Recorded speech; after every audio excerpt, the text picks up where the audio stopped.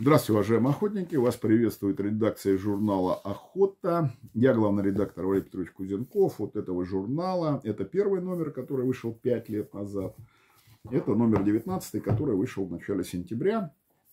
Сейчас мы готовим 20 номер. Журнал один раз в квартал выходит. А, три журнала в одном. Приобрести вы можете его через Озон, через Авито на мероприятии, где присутствует редакция. Вот, э, мы приняли решение, что я буду делиться своим мнением. Один вопрос, один ответ в день. Меня это очень устраивает. Вот, я думаю, вас тоже. Коротко, раз посмотрели. Сейчас 40 минут слушать бла-бла-бла никто не желает. Да?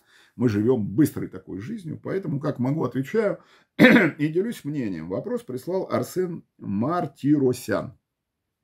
Уважаемый Петрович, доброго времени суток. Как быть в такой ситуации? Ранее писал про приваду вблизи населенного пункта. Местные жители жалуются на то, что завозятся мертвые телята для привады на расстоянии 300 метров от жилых домов.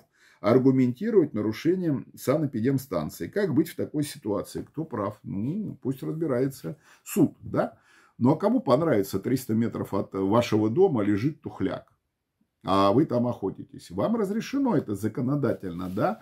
Почему? Потому что вот я взял правила охоты, иные параметры осуществления охоты. Запрещено осуществлять, запрещается осуществлять добычу охотничьих животных с применением охотничьего оружия а ближе 200 метров от жилого дома, жилого строения. Ближе 200, да? А 300 уже можно. Но вы привезли туда дохлых телят, они воняют, опарыши, туда выходят какие-то там шакалы, я не знаю, лисы, медведи. Вот. А 300 метров от моего дома, да кому это понравится?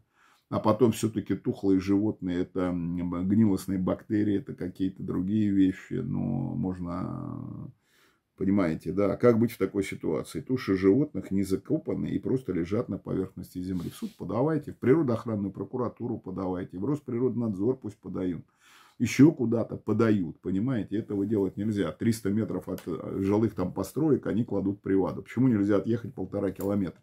Я не знаю тонкостей, но я считаю это неправильно и плохо. Выкладывание тухляка 300 метров от жилых домов и еще спрашивать, почему люди возмущаются и что делать. Ребята, прокуратура природоохранная, Росприроднадзор, Россельхознадзор, масса организаций, куда можно сделать фотографии, видео, отправить, показать всю эту гниющие эти трупы, эти телята, почему они дохнут, откуда дохнут, может там ящер.